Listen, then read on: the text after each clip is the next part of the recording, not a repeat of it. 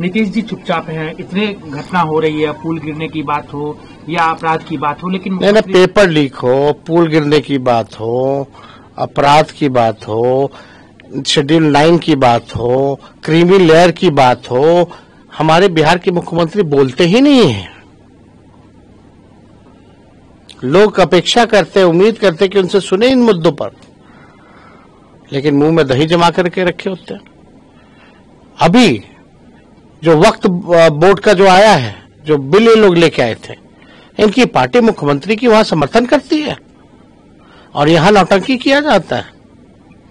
इस पे क्यों नहीं मुख्यमंत्री खुल करके आगे आकर के बोलते हैं? वो तो आप विपक्ष मज़बूत है, जेपीसी में गया मामला। और 10 साल 12 साल में पहली बार मोदी जी के राज में कोई जेपीसी में मामला गया है।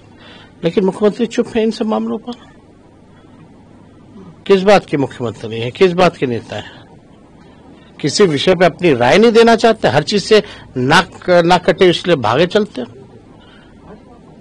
तो ये कहीं ना कहीं से जायज़ नहीं है। स्टैंड लेना चाहिए। क्या स्टैंड? हम तो जानना चाहते वक्त बोर्ड पे मुख्यमंत्री का स्टैंड क्या है। क्यों अपनी चुप्पी तोड़ते नहीं? क्यों नहीं खुल करके आके